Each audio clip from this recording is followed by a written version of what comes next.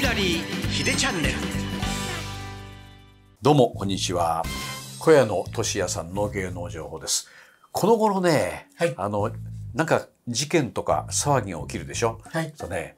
何にもねこの人誰みたいなねそういうふうに思うケースが、ね、よくあるんですよ。僕なんか新人アイドル見てそう思っちゃいますけどね。ええ、騒いでたあの木本何さん？武弘さん、はいはい。ね。TKO TKO はい。TKO TKO って何？あのお笑いかなんかおの笑いで若い頃はですね、うん。まあ、関西がもともとで、ええ。ちょっと今あのおっさんにね二人組でなってしまったんですけど若い頃意外に特にこの木本さんの方はアイドルチックな人気を関西であって関東に来たっていう。俺。全然知らなかったですね。えーっとね、今ね相方の木下さんが公園にペットボトル投げつけて問題になって、えー松竹芸能出ざるを得ないっていうんでえー意外と今 YouTube とかでね逆に出たりしてますけど木本さんはね僕今回考えたらあのテレビのね問題あの今お金の問題でねいろいろ投資の問題ではい。番組降りててあの東京に住んでるんですけども、えーテレビのレギュラーなんか全部関西でしたよね。考えてみればはい。7億円とかなんかはい、7億とか言われてます、小耳に挟みましたけども、何をどういうふうにして誰に勧めたんですか？えっとね、どうやら FX あの、ね、よくわからないです。けど、ね。えーあくまでも善意で誘ったんじゃないかと。うん。で何がすごいっていうのは今回の件で木本さんのことを悪く言う芸人っていうのはほとんどいないんですよ。あそうですか。ええ。あのさんまさんなんかもね、みんなそんなね騙すような人じゃないって言ってるし、皆さん言ってるから、えー多分、えーいろんな人の名前が上がってますよね。例えば、えー平成のぶしこぶしの志村さんが3,000万だ5,000万だ預けたっていう話ですよ。でもそれはこう悪意じゃなくて本当にこうねっていうあとクーちゃん野生爆弾のクーちゃんがやっぱりみんな悪く言わない。うん悪く言わない。あまあであ投資っていうのはあのねよくなんかこうありもしないこう物を買わせて金利金利を払いますよっていうんだったらもう全然詐欺の片棒担いでる。そうじゃないし投資っていうのは自己責任なわけじゃないですか。あある人が出てくるんですよね。あの A さんならはい A さんと言っときますけど、その人にあのその人を介して、えーいろいろ投資をしてもらってた。とはい。そういう話を、まあ、楽屋とかどこでしたか知らないけど、はいええ。そしたらまあよく考えればその仲間っていうかはい。後輩も俺も儲けたいみたいなことで、はいはい。えーえーそういう話がね木本さんにガンガン来た。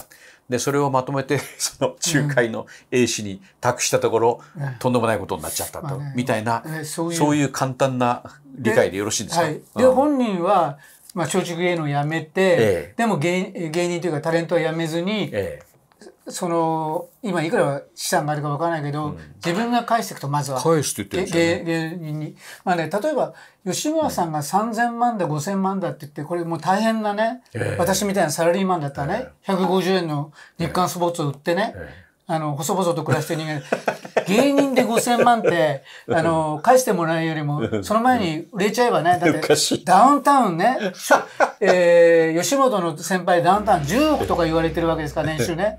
そういう意味じゃね、うん、芸人さんねあの投資よりもね売れれ売れた方がタレントさんはね、いいんじゃないかなと思ったんですけどやっぱりこういうご時世ですからね、だから全員が裏目に出たっていう言われてますけどね。だからねあのみんな若いうちはいいですけどだんだん304050になっていく時に、えーちょっと考えなくちゃいけないよと、ね、家庭もできたりする、そういうんでこう資産形成を考えて、まあ自分ご自分の成功体験っていうんでやったのが、ね、どっかでうまい話っていうのはずっと続かないと。今回のはねちょっと話がせこい。ああのーうん、要するに外側から見るとなんかややこわもてのね、えーその木本さん、はい。木本さんという人がいて。そんなにこわもてじゃないです。よ。そうなんですか？ねあの木下さんに比べれば。テ。レビのワイドショーでそういうふうに言ってたんでね。写真も出てね、ええああそうなのかなって僕は思っただけなんですけのど、松竹芸能の芸人さんの上で一番上ですよね。で金をこうね、え巻き上げたっていうかこう出させて、えでそれで投資して、ええ。まあ騙す気はなかったんでしょうけども、うん。それがこうおかしくなっちゃったはいみたいな、だから普通ほらあの有名人の大借金話っていうとはいなんかえーっと腰抜かすぐらいに金額でかいじゃないですか。はいはい昔の加山雄三さんだとかさ、小林明さんとはいかさだまさしさんもそうだったし、そうですねいっぱいいましたけど、みんな返しちゃったな、ああ人たちはね。のこの人たちがすごいのは、返せるっていうのは何十億というお金をですね。そうですよね。この人たちに共通しているのは、あのーまあ、佐田さんはね、専業ですけど、あのー加山さんも、小林明さんも、歌うスターだああ、そうと。か。歌は返せるんですよ。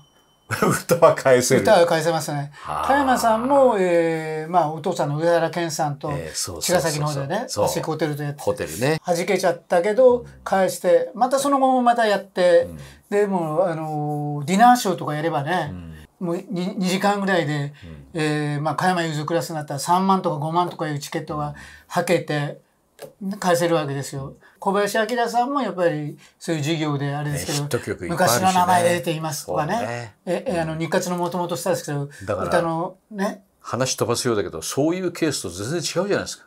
今度のまあね。木本さん、歌も歌ってないし、もちろんヒット曲はないし、で、7億返すって言ってるけど、どういう風な流れで返すんだろうねという。じゃあ、これからどうなるかをちょっと注目したいですね。まあね。結構ケロッとしてたりなんかしてね。まあだからで聞いたらもう返しちゃいましたよ、7億たは。たいわゆるこうこの人がね例えば詐欺で逮捕されるっつったらあれですけど、そうじゃなくてまあ投資,、ね。投資っていうのは出すのはあのリスクを生むんだよと、ね、だからこう本当に困るお金はねあと人に借りてまではやっちゃダメだよっていうのがねよくわかりますよね。非常に基本的な話で、うんね、ありがとうございました。